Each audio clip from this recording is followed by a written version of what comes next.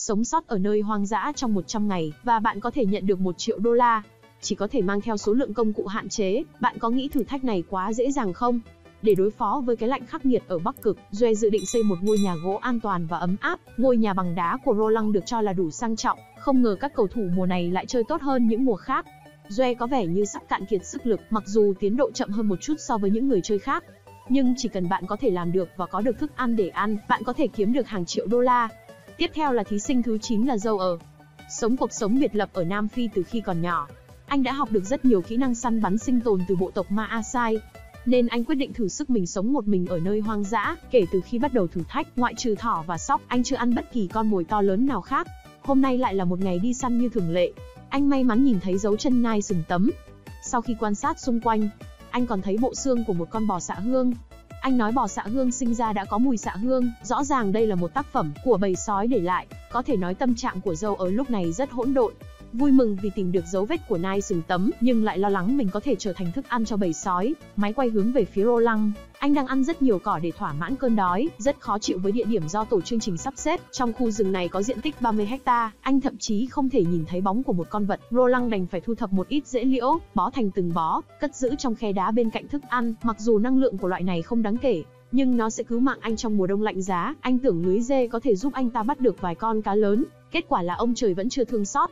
Roland chưa bao giờ nhìn thấy một sợi lông cá nào, nên anh đành phải thả lưới xuống vùng nước sâu để thử. May mắn thay, cái bẫy cuối cùng đã bắt được một con sóc. Sau khi bổ sung năng lượng, cuối cùng anh cũng có sức lực để hoàn thành mái nhà. Năng lượng tiêu hao trong mấy ngày qua có phần vượt quá khả năng của anh.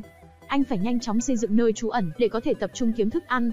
Sau khi đã đặt gỗ xong, trải rêu và bạt xuống là có thể hoàn công. Cuối cùng là xây dựng ống khói. Cảnh quay chuyển đến dâu ở. Anh lấy cái đầu bò nhặt được, treo lên trên một ngọn cây và quay về hướng ngôi nhà. Có thể xem như một hành động canh gác cho anh ta ngủ, sau khi ổn định chỗ ở, dầu ở kiểm tra lưới, suy cho cùng, thức ăn là nền tảng cho sự sống còn của anh ta. Lưới đánh cá đã không làm anh thất vọng, tính cả con cá này, anh đã bắt được 6 con. Lúc này, dầu ở đột nhiên chỉ xuống nước và nói, Ồ, có quái vật, Ôi trời ơi, con cá to quá, sau đó cầm lên và khoe trước máy quay, anh thầm nghĩ giá như anh có thể dự trữ được nhiều cá hơn, tức khi mặt hồ đóng băng, sẽ có cơ hội đến gần hơn 1 triệu đô la, để tránh bị sói hay cáo lấy trộm thức ăn. Dâu ở quyết định làm một kệ đựng thức ăn trên cao, đầu tiên anh tìm vài thanh gỗ để làm thang, sau đó tìm ba cây lớn liền kề, rồi chặt bỏ những cành cây, để sử dụng làm bệ đỡ, và cuối cùng leo lên độ cao thích hợp để cắt bỏ phần ngọn. Không may sau đó anh ta đã bị ngã, nhưng may mắn là không bị thương, không biết Doe có cười khi nhìn thấy điều này không? Sau khi sửa xong chiếc thang, dâu ở chuyển sang sử dụng cưa tay và tiếp tục làm việc. Với hai cây lớn còn lại, dùng đoạn gỗ làm bệ. Sau đó trải một lớp gỗ thông rồi xếp cá lên trên. Một phòng bảo quản thực phẩm hoàn hảo đã sẵn sàng. Tiếp theo là cây, người chơi cuối cùng, đối với anh ta, đây chỉ là một sự thay đổi khung cảnh, bởi anh và gia đình đã sống trong rừng 30 năm. Hái lượm, săn bắt và câu cá đều là những kỹ năng hàng ngày. Mục đích tham gia chương trình mùa này, chủ yếu là muốn lên truyền hình.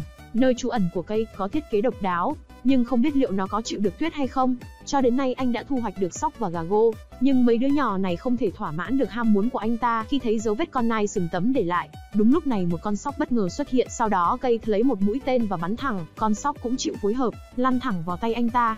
Sau khi xử lý con sóc, anh bắt đầu câu cá bằng bộ lòng của nó. Không ngờ không lâu sau đã có một con cá cắn câu, cây thì nhanh chóng cuốn sợi dây. Với kinh nghiệm lâu năm anh đã đưa được con cá lên bờ, mà không xảy ra bất kỳ sai sót nào. Con cá này có thể cung cấp năng lượng ít nhất một tuần. Sau đó anh ta cắt lát thành miếng. Một phần dùng để nấu canh và nướng cá, phần còn lại để dành hun khói. Trước khi ăn cũng không quên mời mọi người. Sau đó từ từ thưởng thức cá nướng. Khi nhiệt độ giảm dần, Cơn thèm ăn của Doe ngày càng mạnh mẽ hơn, anh phải kiểm tra xem cái bẫy có bắt được gì không. Kết quả là cái bẫy không những không thu được gì mà còn bị phá hủy. Nhưng trên đường về, Doe tìm thấy một con sóc trên tảng đá. Doe nhanh chóng chặn lối thoát duy nhất bằng đá. Chuẩn bị cắt một cành cây để bắt nó ra. Kết quả là đã thử đi thử lại nhưng không trúng đích, nên anh quyết định tìm một cái tốt hơn. Lúc này, con sóc trong nháy mắt đã chạy đi, nghĩ đến căn biệt thự rộng lớn chưa hoàn thành, và nghĩ đến việc ăn quả mọng anh buồn nôn, Joe có chút bối rối. Amos là người giàu nhất cho đến nay, bắt được một con cá lớn vào ngày thứ sáu, về cơ bản mỗi ngày đều có một vụ thu hoạch, thậm chí đôi khi còn có thể bắt được hai con cùng một lúc. Tổng cộng anh ta đã thu hoạch được 11 con, và anh ta đã trở thành một chuyên gia câu cá. Nếu tiếp tục như vậy, anh ta sẽ sớm kiếm được một triệu đô la để ngăn chặn những kẻ săn mồi khác đến ăn thịt. Amos buộc quần lót của mình làm cái túi, làm xong, cho cá hun khói vào và treo dưới đất gốc cây. Dù vậy, điều đó cũng không ngăn cản được những loài động vật khác. Buổi tối vừa uống xong canh cá, ngoài nhà truyền đến một tiếng động lạ, nghe giống tiếng sói hơn là thỏ. Mơ hồ có thể nhìn nhìn thấy một đôi mắt phát sáng. Amos quyết định lấy cung tên của mình và chiến đấu với nó. Sau khi tìm kiếm xung quanh, anh ta nói rằng con sói đã sợ hãi bỏ chạy. Nó vừa va vào chỗ này, nhưng bây giờ không biết ở đâu. Amos chỉ có thể cầu nguyện con sói không tìm được con cá nào. Nhờ đó, anh ta có thể dễ dàng sống sót. Máy quay hướng về phía Kilin, cô ấy đang đứng bên hồ và câu cá một cách nghiêm túc. Sau nhiều lần quăng câu thất bại, miếng mồi cũng biến mất lúc nào không hay cuối cùng cũng đưa được lưỡi câu xuống nước. Kết quả là một giờ trôi qua mà không có con cá nào cắn câu. Cô quyết định mang theo túi ngủ và thử ở vùng nước sâu. Thực sự hiệu quả sau khi tìm được một điểm câu cá mới, cô ấy đã câu được cá chỉ sau một giờ câu, nhanh chóng cuộc lại dây câu. Nhưng tiếc thay, con cá vừa tới miệng không ngờ lại bị vuột mất. Gilin cho rằng cá buổi chiều không ngon, quyết định ngủ ở đây một đêm và chiến đấu lại vào sáng hôm sau. Thật không may, ngày hôm sau vẫn không mang lại kết quả gì. Sau một giờ cô ấy hoàn toàn suy sụp, ngay khi cô ấy chuẩn bị trở về trại, cảnh tượng trước mắt khiến cô bàng hoàng. Một con nai sừng tấm đang bơi lội dưới nước. Sau đó Kilin mới nhận ra rằng trên người cô không có cung tên. Cô nhanh chóng bắt trước tiếng kêu giao phối của một con nai cái. Sau khi nghe xong, con nai sừng tấm quay lại nhìn cô như muốn nói, chúng ta không hợp với nhau. Kilin vội vàng chạy về lấy cung tên. Lúc quay lại thì con nai sừng tấm đã đi rất xa. Cô ngồi xổm đưa tay ôm đầu và buồn bã, lòng đầy khó chịu khi thấy một triệu đô la vừa chạy đi. Cả 10 thí sinh đều đã được xuất hiện, Trừ hai người bị loại ở tập đầu thì vẫn còn lại 8 người, đừng đánh giá thấp hai con cá lớn này. Đây là thẻ mệnh của Mark để giành được 1 triệu đô la, trong khi các thí sinh khác vẫn đang lo lắng về việc có được thức ăn, thì lưới đánh cá của Mark đã bắt được 26 con cá lớn. Trước cuộc thi, anh ấy nghĩ rằng sẽ rất khó để bắt được chúng, bây giờ không còn chỗ cho giá đựng thịt sông khói trong nhà, không còn cách nào khác ngoài việc tạo một giá đỡ khác. Đầu tiên dựng một bộ khung ổn định, Phần kệ chứa cá được đặt ở giữa, sau đó đặt các thiết bị cảnh báo xung quanh. Bất kỳ con vật nào cố gắng ăn trộm, Mark sẽ phát hiện và đưa cho nó một mũi tên. Một giá đựng thịt sông khói lớn được làm bằng cách bao quanh nó bằng những cành thông. Anh ta đã làm một giá thịt sông khói lớn, sau đó bắt đầu tạo kiểu tóc. Mark đặc biệt chế tạo một chiếc lược gỗ. Vì trong thời gian này ăn quá nhiều cá, nên bị tiêu chảy và đành phải kiếm một ít rong biển tuần lộc để cải thiện thức ăn. Phải nói rằng anh chàng này hơi quá cầu kỳ, ăn rêu xong, anh định đi tìm một ít dễ Việt quất để pha trà. Kết quả là không có dễ Việt quất nào được tìm thấy, có khá nhiều phân gấu, đánh giá về độ tươi, có lẽ do con gấu đã để lại vào sáng nay. Sau đó anh thấy nó đang ở rất gần trại, Lúc này chúng đang chuẩn bị ngủ đông, bây giờ một là tiến lên phía trước tấn công con gấu, hoặc là chờ đợi con gấu đi đến đây. Sau một giây suy nghĩ, Mark quyết định chuẩn bị dụng cụ và chờ đợi. Chúng ta biết chắc là do anh ta sợ con gấu, nhưng Mark nói cứ thử nằm đợi thử xem, biết đâu sẽ có kết quả gì thì sao. Máy quay hướng về phía Kelly, nơi trú ẩn trước đó phải hứng chịu gió lớn, Thế là cô ấy đã tìm được nơi để xây dựng một cái mới, còn nhím hôm trước bắt được đã ăn hết, cô quyết định ra ngoài tìm xem có con khác không, nhân tiện kiểm tra những cái bẫy được đặt cách đây vài ngày, cái đầu tiên trống rỗng, hơi thất vọng, khi cô ấy nhìn thấy cái thứ hai, miệng cười thật tươi. Biểu cảm này khiến cô ấy phấn khích hơn cả khi được gặp chồng, cô tưởng có một con gấu đen to lớn đang nằm trên mặt đất, Hóa ra chỉ là một con thỏ. Kelly bế con thỏ lên nhìn rồi nói, để chị đưa em về, và điều trị cho em thật tốt. Sau một hồi giải cứu, con thỏ đã trở nên như thế này, thậm chí còn lấy phổi ra và thực hiện hô hấp. Sau khi đã ăn uống đủ no, bắt đầu thể hiện tài năng với mọi người, nhào nặn bùn đất, và dự định làm một số đồ gốm. Đầu tiên sẽ cuộn đất sét thành những dải dài, sau đó tạo hình đáy bát, đặt cạnh bếp lửa, nướng một lúc rồi tiếp tục định hình. Tay nghề của Kelly thực sự rất tốt. Vào cuối ngày, tất cả nồi và bát đã được làm xong, chỉ không biết liệu cô ấy có thể nấu được món gì không. Dâu ở vừa thu hoạch được hai con thỏ to béo, đáng tiếc là không được camera ghi lại, nên anh quyết định dựng lại vụ án cho mọi người xem, không thể lặng lẽ đi theo con thỏ tại hiện trường. Con thỏ sẽ bỏ chạy nếu nhìn thấy bạn. Bạn phải giả vờ rằng mình là một con gấu đang ăn cỏ, điều này sẽ mang lại cho con thỏ một cảm giác an toàn sai lầm. Khi bắn, bạn không nên nhìn vào mắt nó mà hãy từ từ rút dây cung và bắn về phía nó. Tiếp theo, dầu ở bắt đầu diễn vai con thỏ, đặc biệt là hai cảnh co giật ở cuối, không vào Hollywood thì thật lãng phí tài năng. Sau khi biểu diễn xong, anh ta nhanh chóng hầm một nồi thận. Theo logic mà nói, người nước ngoài thường không ăn nội tạng, nhưng anh chàng này không chỉ ăn rất ngon, mà còn dùng đũa rất chuyên nghiệp. Có thể anh ta đã từng sống ở Việt Nam, thấy mùa đông lạnh giá ở Bắc Cực đang đến gần, Dâu ở định lắp một cánh cửa nhỏ cho nơi trú ẩn, nhưng khi đang làm việc chăm chỉ, một con ruồi bất ngờ bay vào tay anh.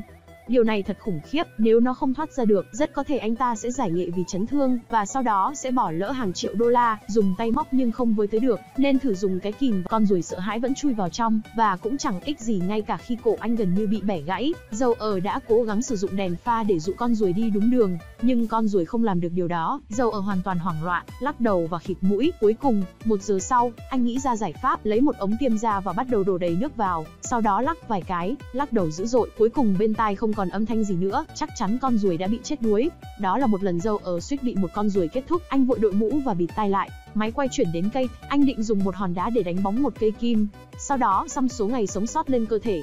Chiếc kim đã được làm ra trông khá sắc bén. Sau đó dùng nước ép quả mọng trộn với than củi để làm mực. Anh cởi tất và xăm quanh mắt cá chân.